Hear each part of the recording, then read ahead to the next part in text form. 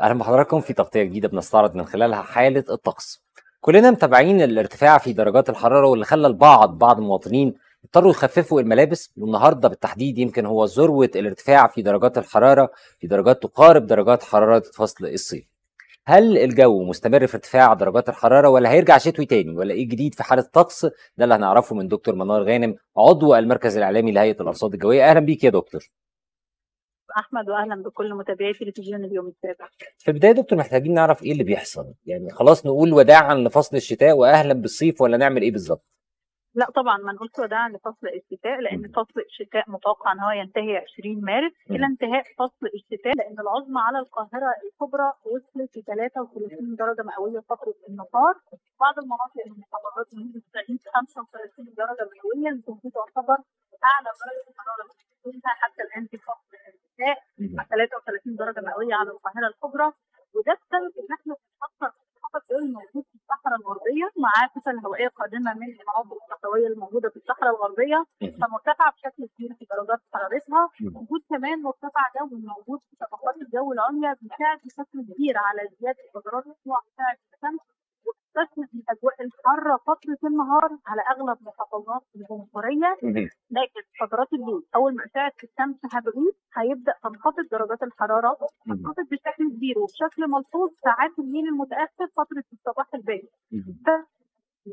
فترة الليل هيتجاوز ال 15 درجة مئوية، فترات الليل هتكون أجواء باردة على أغلب مناطق الجمهورية، كمان اليوم كلنا شايفين نشاط رياح، طبعا متوقع يكون في نشاط رياح، سرعته ما بين أنا سمعت كده من حضرتك باردة بس مش شديدة البرودة اللي حضرتك بتقولها لنا دايما يا دكتور منار يعني خلاص شديد البرودة ده دايما خلاص انتهى خلاص؟ شديد البروده هيرجع مع منتصف الأسبوع القادم لكن إلى الآن الأجواء فترات الليل الصغرى بتتراوح ما بين يعني نقدر 16 15 درجه مئويه فتره فهي بشكل كبير يعني فيها تحسن عن الأيام اللي كان بيبقى فيها طقس شديد البرودة لكن لسه بتاكد إن فتره لم ينتهي مع بعد منتصف الأسبوع القادم بالفعل مع منتصف الأسبوع القادم. هيكون في انخفاض ملحوظ في درجات الحرارة فترة النهار وأيضا فترات الليل نحس بالاجواء بارده شديده البرودة فترات طب ومن هنا بقى لمنتصف الأسبوع اللي حضرتك بتقولي عليه ده يا دكتور نفس الأجواء هتكون شبيهة لجو اليوم والطقس اليوم؟ لا إحنا اليوم هو كان ذروة التقلبات وذروة ارتفاع درجات الحرارة خلينا نقول إحنا كلنا طبعا كمان شايفين الأتربة والرمال المثاره الموجودة في أغلب محافظات شمال البلاد.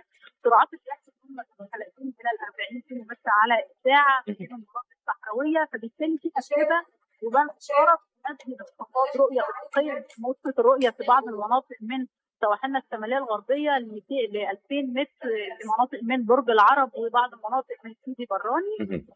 مع تقدم كمان الوقت ممكن بعض المناطق من القاهرة الكبرى محافظات الوجه البحري مدن القناة كمان تتعرض للاتربه والرمال المثاره نتوقع إن شاء الله غدا الجمعة يكون في انخفاض في درجات الحرارة. هو طبعا انخفاض كبير هيحصل انتصار لموجه ارتفاع درجات الحرارة تنخفض وتوصل ل 27 درجة مئوية فترة النهار. فطبعا مش هتكون زي اليوم تماما هتنخفض بحوالي خمس درجات. آه أحسن يعني من النهارده على الأقل.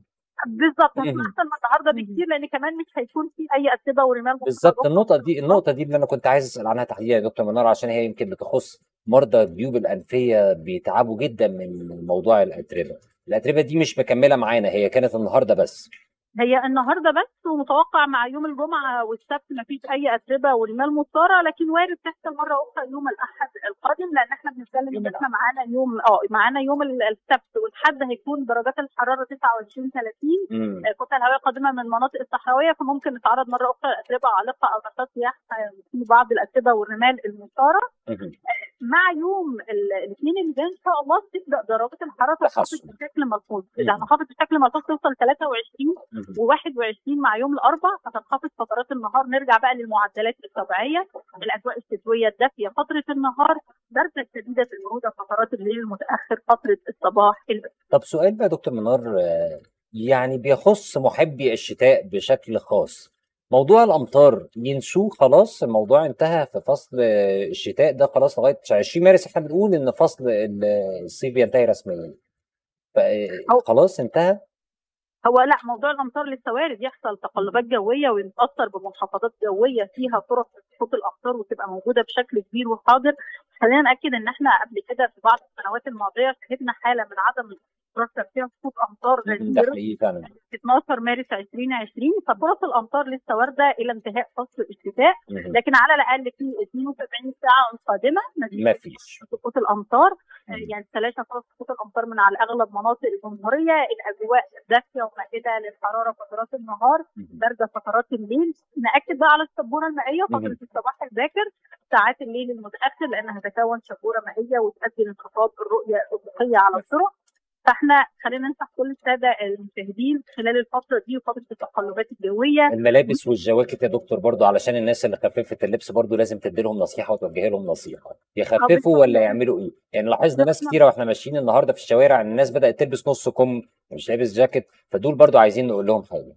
هي طبعا مع ارتفاع درجات الحرارة تلاقي الناس كلها بدأت تخفف بس إحنا بنقول بلاش الانخداع بارتفاع درجات الحرارة لأن أول ما هتيجي فترات الليل هنبدأ نحس بالبرودة وانخفاض درجات الحرارة. فبقدر الإمكان نحافظ على ارتداء الملابس الشتويه فترات الليل المتأخر فترة الصباح الباكر.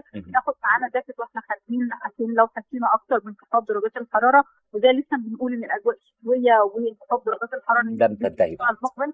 تغيير نوعية الملابس بين ال... يعني فترات والأخرى ده ممكن يصيبنا بنزلات نزلات البرد فبلاش التخفيف الكبير في الملابس في الملابس.